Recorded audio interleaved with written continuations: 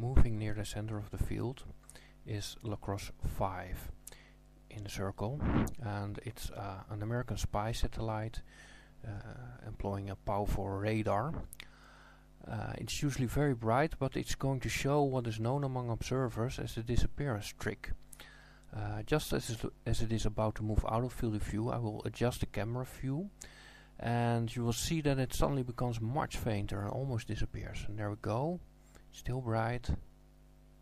Now watch it. And look here it goes. It becomes much fainter. Quite sudden in a few seconds time this is very typical of Lacrosse 5 and the other Lacrosse satellites don't show this behavior and this to this extent so it suggests that this uh, fifth of the satellites is a little bit different from the previous one. Why does it? Cannot explain.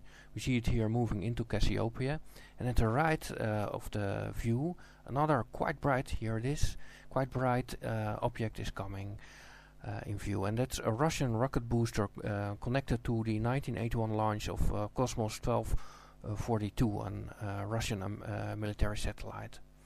And here it's going, it's still very bright.